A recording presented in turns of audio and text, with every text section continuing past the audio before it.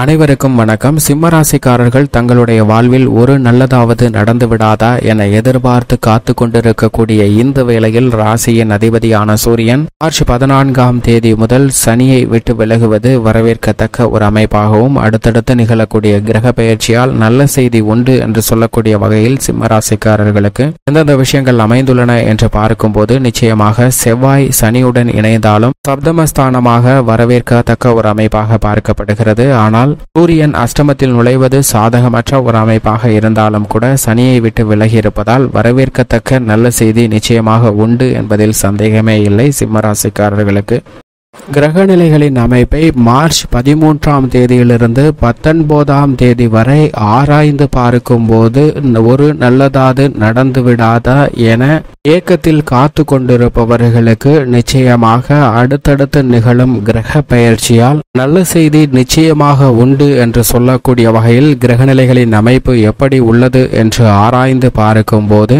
இந்த மார்ச் மாதம் பதிமூன்றாம் தேதியிலிருந்து பத்தொன்பதாம் தேதி வரை கிரகநிலைகளின் அமைப்பில் மிகவும் வலுவாக ஆட்சி பலம் பெற்று சஞ்சரிக்கக்கூடிய நடுநிலை தவறாத நீதி தவறாத நியாயஸ்தராக செயல்படக்கூடிய சனியுடன் கும்பராசியில் அவரது நட்பு கிரகமாக இருக்கக்கூடிய சுக்கிரனும் சனிக்கு பகை கிரகமாக இருக்கக்கூடிய செவ்வாயும் இணைந்து சஞ்சரிப்பது நிச்சயமாக ஒரு நல்லதாவது நடந்து விடாதா என எதிர்பார்த்து காத்து கொண்டிருப்பவர்களுக்கு மாறுதலை ஏற்படுத்தி கொடுக்கக்கூடிய ஒரு கிரக சஞ்சார அமைப்பாக இந்த மூன்று கிரக நிலைகள் கும்பராசியில் வலுவாக சஞ்சரிக்கக்கூடிய இந்த தருணத்தில் மாற்றத்தை சந்திப்பதற்கான வாய்ப்பு உருவாகிறது. பதினான்காம் தேதியிலிருந்து செவ்வாய் கும்பராசியில் வலுவாக அமரப் போகிறார் இது ஓரளவிற்கு பாதகமற்ற அமைப்புதான். என்றாலும் கூட ஆட்சி பலம் பெற்று சஞ்சரிக்கக்கூடிய செவ்வாயுடன் தனியுடன் செவ்வாய் இணைவதால் நிச்சயமாக சின்ன சின்ன சங்கடங்களும் தடைகளும் ஏற்படும். ஏனென்றால் சனி செவ்வாயின் பார்வையால் சில எதிர்பாராத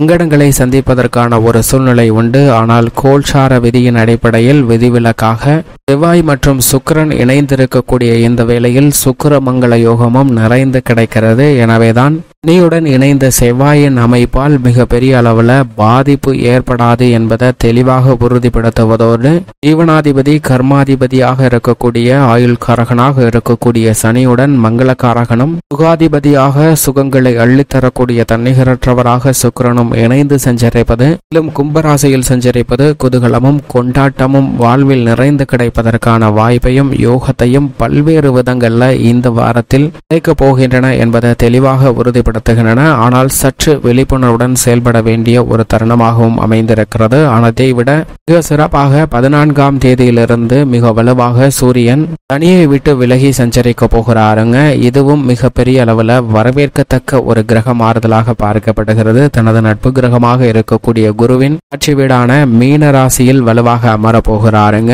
அங்கு ஏற்கனவே ராகு மற்றும் வக்ரகதியில் அடைவதற்கு முன் நீச்சம் பெற்று புதன் சஞ்சரிக்கிறாருங்க. இந்த கிரக நிலைகளுடன் சூரியன் இணையக்கூடிய இந்த தருணம் என்பது புத ஆதித்ய யோகத்தை மிக வலுவாக ஏற்படுத்தி கொடுக்க போகிறது. கிரகங்களின் இயக்கத்தை பாதிக்கக்கூடிய வகையில் சக்தி வாய்ந்த ராகுவுடன் முதன்மை கிரகமாக இருக்கக்கூடிய சூரியன் இணைவதால் பல்வேறு வகையான அலைச்சல்கள் சிரமங்கள் நிச்சயமாக குறைவதற்கான ஒரு சூழ்நிலையும் புத ஆதித்ய யோகமும் சுக்கிரமங்கல யோகமும் நிறைந்து கிடைக்கக்கூடிய இந்த தருணத்தில் ஒரு நல்லதாவது நடந்து விடாதா என எதிர்பார்த்து கொண்டிருப்பவர்களுக்கு அடுத்தடுத்து கிடைக்கக்கூடிய பல நல்ல நிகழ்வுகளாக பல விஷயங்களை மனதிற்கு நிறைவாக செய்வதற்கான யோகம் உண்டு. ஏனென்றால் ஒன்பது கிரக நிலைகள்ல ஆறு கிரக நிலைகள் இரண்டே ராசியில் சஞ்சரிக்கின்றன. சனி சுக்கரன் செவ்வாய் ஆகிய மூன்று கிரகநிலைகளும் கும்ப ராசியிலும் ராகு புதன் சூரியன் போன்ற கிரகநிலைகள் மீன ராசியிலும் வலுவாக சஞ்சரிப்பது நிச்சயமாக ரெட்டிப்பு மாறுதலும் எதிர்பாராத ரெட்டிப்பு அதிர்ஷ்ட யோக வாய்ப்புகளையும் நிறைந்து கொடுக்கக்கூடிய ஒரு இனிமையான தருணமாக இந்த வாரத்தை மாற்றுவதால் நிச்சயமாக நீங்கள் எதிர்பார்க்கக்கூடிய நல்ல செய்தி உண்டு என்று சொல்லக்கூடிய வகையில் கிரகநிலைகள் வலுவாக சஞ்சரிக்கின்றன.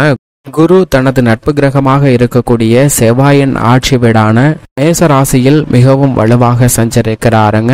குரு மிக சிறப்பாக சஞ்சரிப்பது நிச்சயமாக பல்வேறு வகையான தடைகளை விளக்கக்கூடிய ஒரு சிறந்த அமைப்பாக பார்க்கப்படுகிறது. பல்வேறு வகையான பாதிப்புகள் விலகுவதோடு மட்டுமல்லாது நீங்கள் எதிர்பார்க்கக்கூடிய சுப நிகழ்வுகள் உள்ளிட்ட அனைத்து விதமான பணிகளையும் கனக்கச்சிதமாக முடித்து கொடுப்பாருங்க. குடும்பத்திற்கென நேரம் ஒதுக்க முடியவில்லையே என்று வருத்தப்பட்ட சூழ்நிலையில் நிச்சயமாக மூலமாக மாறுதலை சந்திப்பதற்கான வாய்ப்பு உருவாகிறது. திட்டமிட்டபடி பல பணிகளை மிக சிறப்பாக செய்வதற்கான யோகத்தை குரு உறுதிப்படுத்தி கொடுக்கிறாருங்க. மோட்சக்காரகரான கேது அவரது சமபலம் பொருந்திய புதனின் ஆட்சி வீடான கன்னிராசியில் அமர்ந்திருப்பதால் எதிர்மறையான சிந்தனைகள் கருத்துகள் போன்றவை மனதில் ஏற்படாமலும் பெரிய அளவிற்கு எதிர்மறையான சிந்தனைகளை மனதில் கொள்ளாமல் அனைத்து விதமான பணிகளையும் நேர்முறையான வழியில் சிந்தித்து எதிர்பாராத முன்னேற்றத்தை பெறுவதற்கான நல்ல பல வாய்ப்புகளையும் சந்தர்ப்பங்களையும் ஏற்படுத்தி கொடுக்கிறார். இது மட்டுமல்லாது சந்திரன் பெரும்பாலும் இந்த வாரத்தில் மிக சிறப்பான வளர்ச்சியும் முன்னேற்றத்தையும் ஏற்படுத்தி கொடுக்கக்கூடிய வலுவான அமைப்பில் பெற்றிருக்கிறாருங்க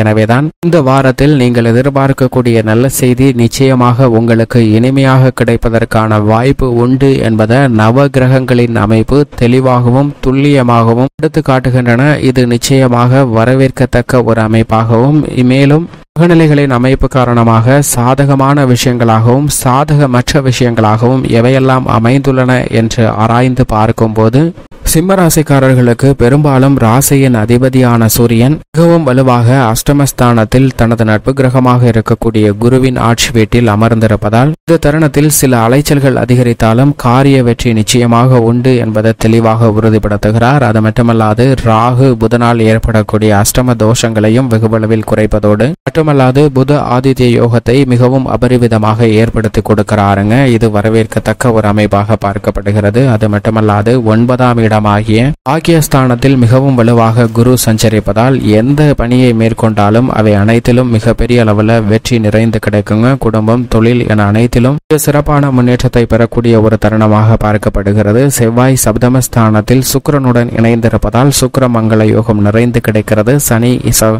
அண்டச்சனியாக அமர்ந்திருந்தாலும் பெரிய அளவிற்கு பாதிப்பு இல்லை. நீங்கள் எதிர்பார்க்கக்கூடிய உத்தியோக ரீதியான புதிய வேலை வாய்ப்பு தொழில் ரீதியான புதிய பணிகளை மிக சிறப்பாக கையாளக்கூடிய சிறந்த தருணமாகவும் எதிர்பார்க்கக்கூடிய நல்ல செய்தி நிச்சயமாக கிடைக்கக்கூடிய வாய்ப்பும் உண்டு. மத்திய மாநில அரசின் சலுகைகளும் உங்களை தேடி வரும். வருமானம் உயரக்கூடிய ஒரு சிறப்பான தருணமாகவும் அமைகிறது.